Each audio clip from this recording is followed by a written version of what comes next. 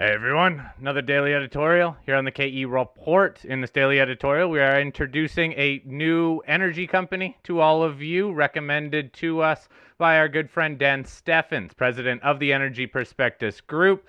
Dan introduced us to Kolibri Global Energy, traded on the TSX under the symbol KEI and also on the NASDAQ under the symbol KGEI. That NASDAQ listing new as of October last year. Dan wanted us to note that this company is part of his small cap growth portfolio. Kolibri Energy focused in Oklahoma in the southern Scoop region. We are chatting with the president and CEO, Wolf Regener. Now, Wolf, let's just start off with a quick overview of the company in terms of positioning within the oil sector. Give us an understanding of, in terms of production and in terms of growth plans, where Kolibri is positioned, please. Okay, happy to. Thanks for having me on. We are in Oklahoma. We're about halfway between Dallas and Oklahoma City. We right outside of Ardmore, and we're mainly a oil producer out of the shale here. We used to develop the deeper Woodford that we sold to Exxon back in 2013 and kept the rights to the shallower Caney, and we're the only ones that did that. They accumulated about 280,000 acres around us, by the way. So we were the last holdout and held on to the shallower Caney, which is much, much oilier. So we produce about third quarter was about 76% oil, another 14% natural gas liquids, and about 10% was natural gas. So natural gas prices up or down uh, doesn't move the needle too much for us. Uh, we get nice solid pricing, no big differentials, about $1.85 less uh, West Texas intermediate pricing and all of our gas and natural gas liquids gets moved off of existing gathering systems that are out here that actually Exxon has. So we get the same pricing that they get from their marketing department, and we just pay them a compression and a gathering fee. Um, and overall, what distinguishes us a little bit is our reserves are our proved reserves of 33 million uh, BOEs, about 82% of that is still in the proved undeveloped category, and about 18% is in the proved developed producing category. Uh, this is for the end of 2022's reserve report. The new one's coming out in uh, here in the next few weeks for the end of 2023. And just from 2021 to 2022, we increased about 10% in our PDPs. So as we're completing more and more wells, bringing those into the proved developed producing category from the low risk reserves. According to Netherland Sewell, who does our reserve engineering, so a reputable firm out of the US, then hopefully uh, that'll be demonstrated into our share price as well.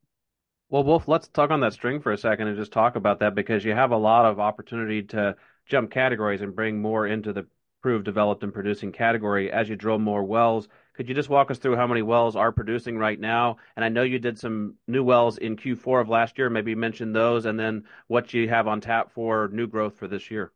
Yeah, so uh, happy to. So uh, reserve report from Netherland Sewell showed at the end of 2022 60 proved locations that we can still drill in the future, and we have a total of about 180 locations out here in the proved probable and possible category, plus some acreage that we have not uh, put any Caney wells into, so they have not evaluated at all on that for future growth in general.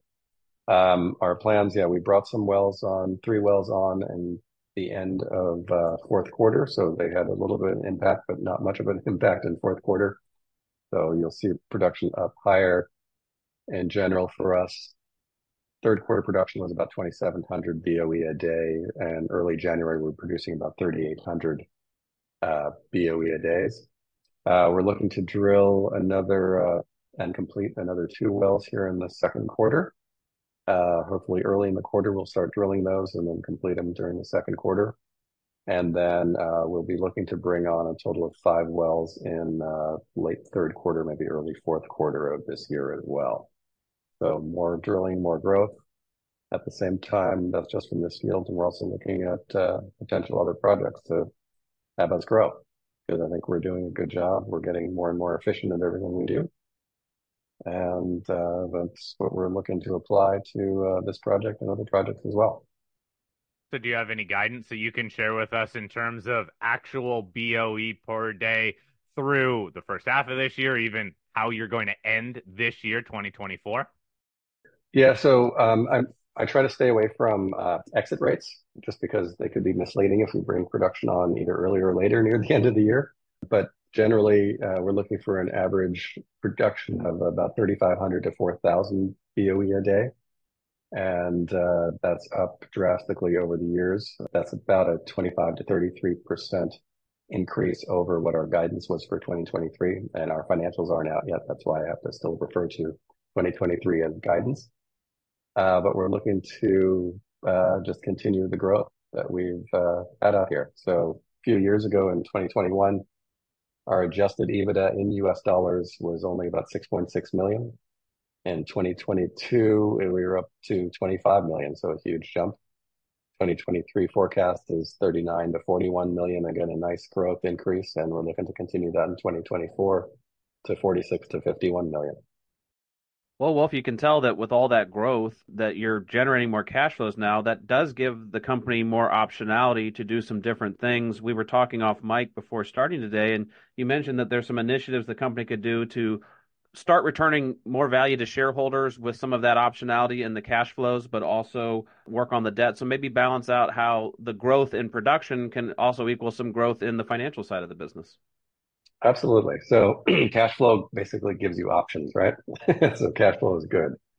Um, we try to keep our net debt down. We have a uh, line of credit with the Bank of Oklahoma uh, for $40 million. And our net debt at the end of this year is expecting to be somewhere between 25 and 27 million. So we're keeping our debt down low. Our capex, we're estimating to be between 33 and 39 million.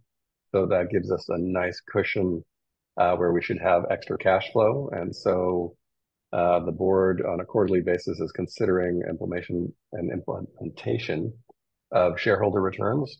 And what form that'll be in will be up to the board decision. I'll probably more lean toward early on uh, recommending some share buybacks, especially if we're still quite undervalued in what we consider out here.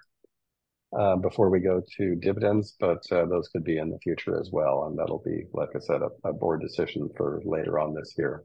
Our forecasts are also using a $72 oil price, which is nice to see right now that we're hovering around 80.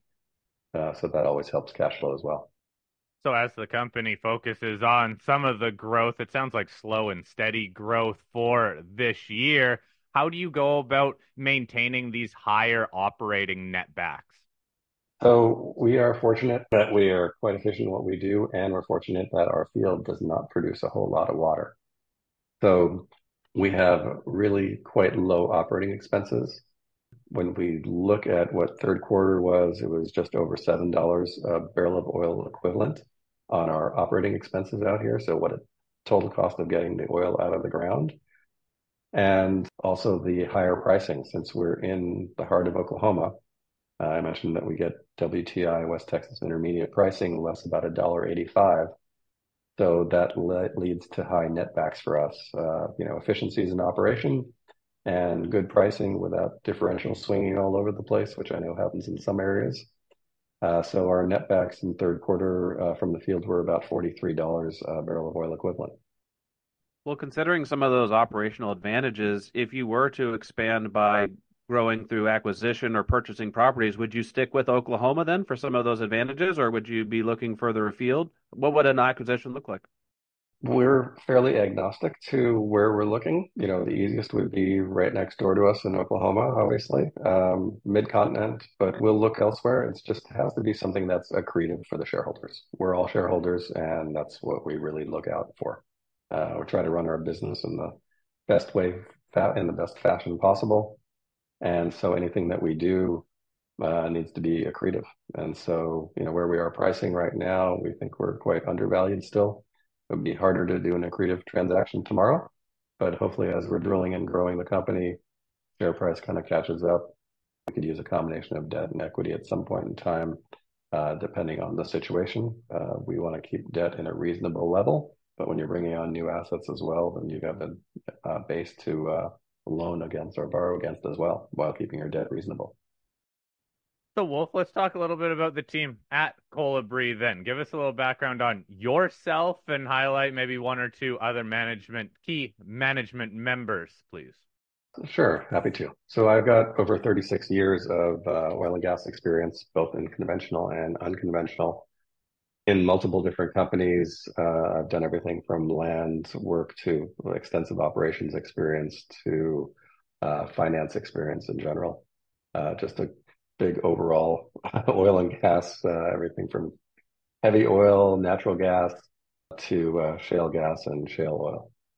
Gary Johnson uh, has over 30 years of accounting and finance experience. He is ex Occidental Petroleum. He was their director of technical accounting. So he's been great as our CFO. And our two other main people were we've got a director of engineering that we brought on recently, who has worldwide experience uh, on operations, reservoirs uh, all across the U.S. and internationally, actually, uh, for more than 30 years. And Allan Hemmy, our geologist, uh, who's been with us for 12, 15 years here now um, on this project itself, and uh, just a all good team.